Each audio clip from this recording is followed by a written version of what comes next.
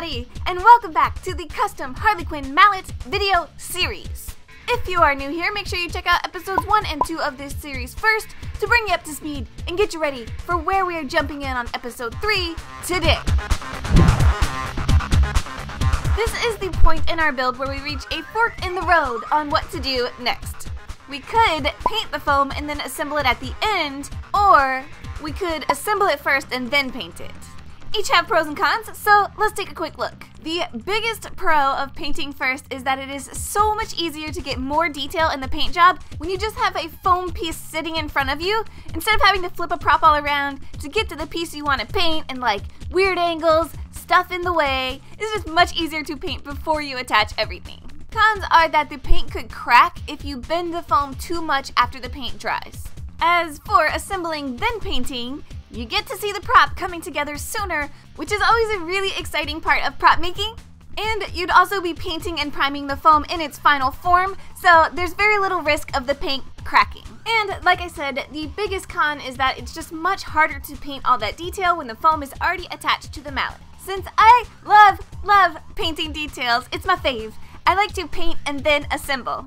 Just keep this con right here in the back of your mind. There are ways to cut back on the chances of your paint cracking, like heat shaping your foam pieces before you paint. That way, your foam is already in the right shape, so paint is covering the surface as close as possible to how it will be in the end. So minimize the need to bend or stretch the paint by pre-shaping your pieces, and using a very flexible primer will help too. Before you paint foam, you always gotta prime it first. Foam is porous, so if you don't prime it, it will drink up all of your paint and you'll have to do 800,000 layers of paint before anything shows up, and then it will still crack off. So, do yourself a favor and prime your foam, both EVA and craft foam. There are lots of primer options out there and pros and cons to each different kind. Instead of going into all of that in this video, I am going to drop a video link in the description box that I definitely recommend checking out. It is a video by Cosplay Masters, Kamui Cosplay, all about primers with side-by-side -side comparisons of different primers on EVA.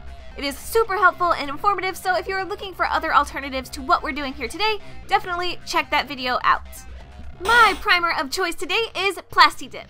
Plastidip is definitely on the more expensive side of the group. It'll run you about $6 a can, but the convenience of a spray can plus the flexibility and durability of the rubbery finish is definitely worth it for me. Alright, now we are ready for paint, finally. for the end caps, I want to do an exposed wood type of paint job, so here's the lineup of colors that I am using. It is an assortment of light beiges, yellow, browns, black, acrylic paints with a matte finish, by the way. For the base color, I'm going for a freshly chopped healthy wood color, which I make by mixing light beige with some yellow. To apply the first coat, I brush the paint on perpendicular to the direction of the carved lines. So since the lines are going this way, I apply the paint in strokes that go this way. This cuts back on accidentally filling all the details that we intentionally carved in there, like filling them up with paint, canceling it all out. If you do get some paint in those deeper recesses though, it's no biggie, but this should stop like tons of paint from pooling in there. And now that our base color is applied, before it dries, I'm going to redirect that base layer to be circular. I'm not adding any more paint here, I'm just using my brush to draw the circular rings of a tree into our paint. The brushstrokes add tiny ridges that give you a really subtle texture detail that looks awesome. I know that the paint in our final product looks intimidating and that you might feel like you can't do that, but you definitely can. It's easy if you break it down and follow it one step at a time. The first step is just swirling a bunch of browns. I start by adding rings of a light tan kind of color. Then I add rings of a cinnamon type color.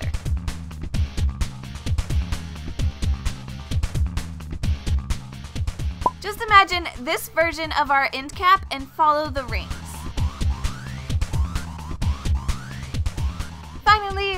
Add a more yellowy, khaki kind of color and blend all of these levels of paint.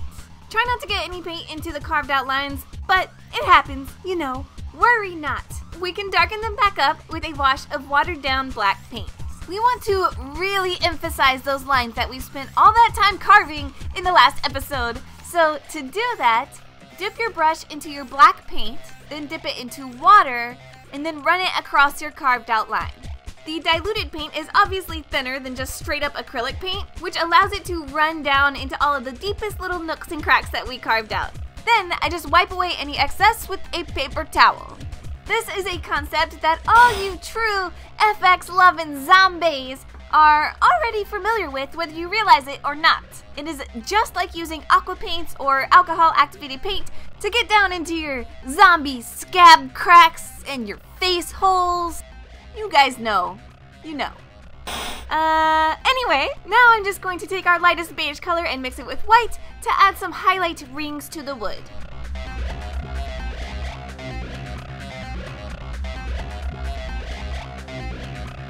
The next thing I do is to start adding a dirty kind of element to this wood.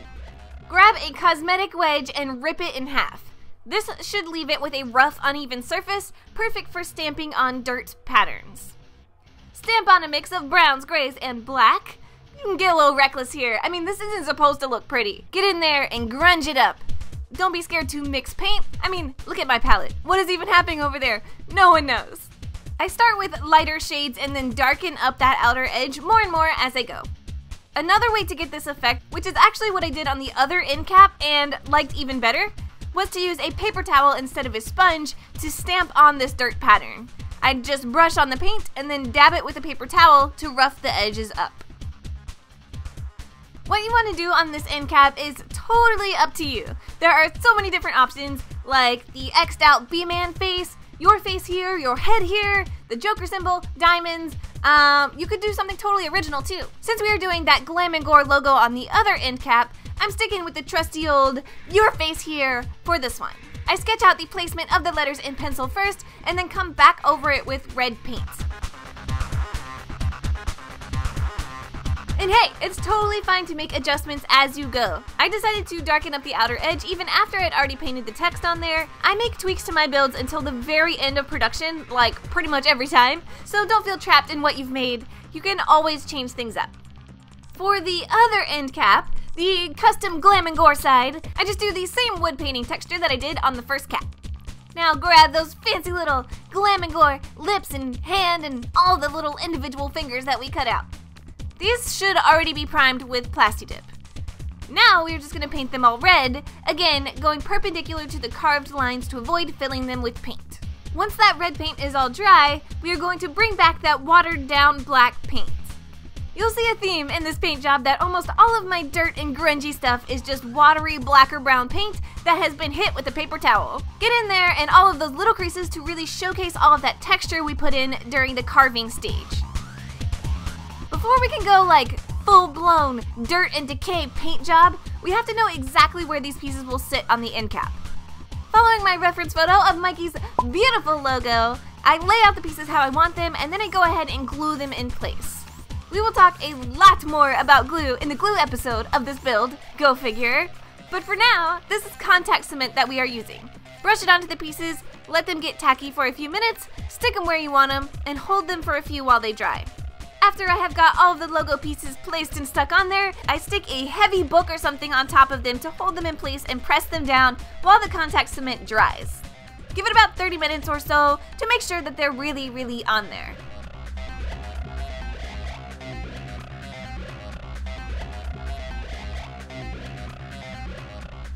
While that's drying, let's move on to the wooden boards. These are easy peasy, so let's just knock them out. The wood boards are mostly all the same steps, but let's review. First, make sure it's primed.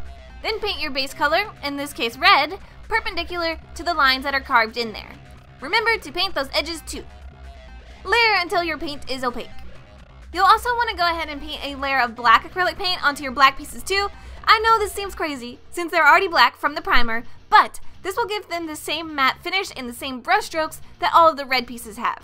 After you finish the one coat of black, you can just set them aside though. Then I go in and start dirtying up the edges by painting on brown paint and dabbing it with a paper towel. Then I use a wash of black acrylic paint and water to accentuate the details in the wood. This time, instead of completely removing the excess black paint, I drag it out to create long streaks that run the length of the board so that it's not just like solid red. Then, either with the world's tiniest little paintbrush, uh, or a toothpick, or what I'm using here is a clay dotting tool, use black paint to follow along those small wood grain dents that we made with the X-Acto knife in the last episode.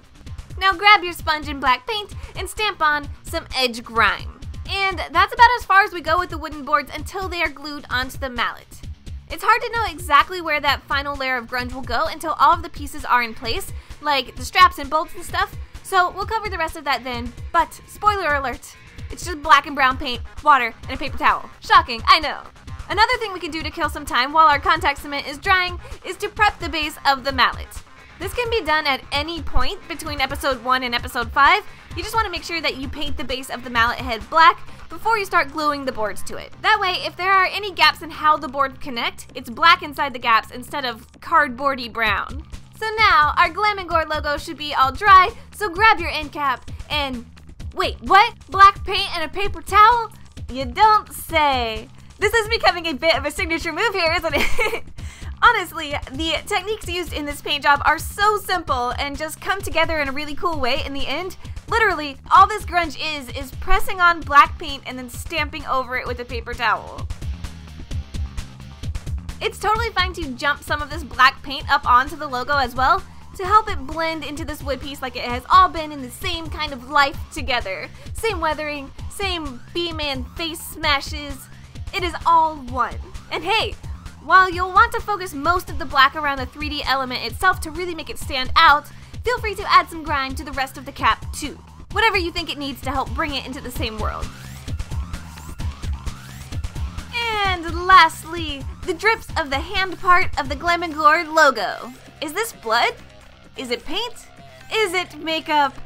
I've always thought it was blood, but now that I'm saying it out loud, I'm questioning everything about my existence. Hey Mykie, Curious zombies need answers. Tell us in the comments. What is this goop? So this effect is something I definitely wanted painted on instead of carved in, so that I could really sell that drippy effect. With my reference pick nearby, I used a small brush to add drips to the bottom of the hand, the pointer finger, and the thumb. Just like her logo. Also added a little pooling of drippy blood goo underneath the hand, just for fun, and I think it looks super cool.